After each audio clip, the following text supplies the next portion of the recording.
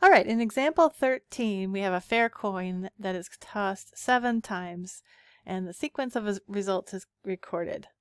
The first question just asks how many sequences of heads and tails are possible. So for part A, really, it's just a matter of using the multiplication principle, right? So we toss um, the first toss, how many different outcomes could we possibly have? There are two ways it could come out, right? You toss it uh, a second time, there's two ways it could come out. And we're going to do this seven times. So it's you have every time we toss the coin, there's two possible outcomes. So I'm just going to have two times two times two times two times two times two times two, right? So basically 2 to the seventh. And if I multiply that, I get 128 um, ways. So 20, 128 different outcomes there, different sequences of heads and tails. All right, so for part B, we want to know how many possible outcomes result in exactly three heads. All right.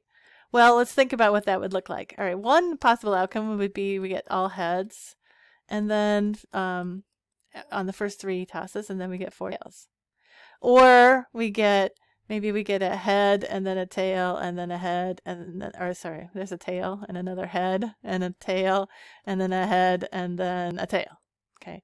Either way, we have three heads and four uh, tails. And notice that it's just another letter arrangement problem. All right. So we have seven letters. So we're going to treat them all as if they're distinguishable at first and then we're going to divide by the duplicate, so by the by the number of ways to arrange the indistinguishable elements. And we have um, three factorial ways to arrange the h's and four factorial ways to arrange the t's in that word, that seven-letter word, h h h t t t t. okay, so now if you notice, that's if I go back up here, that's exactly what we got for the previous example. You know, the the numbers that I'm I'm using. It's just 7 factorial divided by 3 factorial times 4 factorial. So we're going to get another, the answer is going to be 35, but now it's, it's just 35 ways um, or different um, outcomes that we could get for our coin tosses. All right, so I will meet you in the next video.